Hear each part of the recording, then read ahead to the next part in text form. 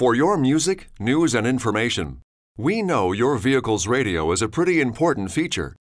Press the radio soft key to change to a radio mode. Now, you can use the AM, FM, and SAT soft keys to toggle between radio modes. Your audio system allows you to store your favorite radio stations to a convenient one touch preset. Select the radio band by touching either the AM, FM, or SAT soft key.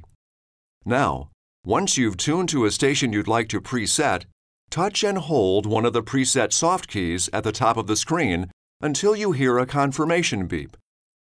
So now let's set the clock.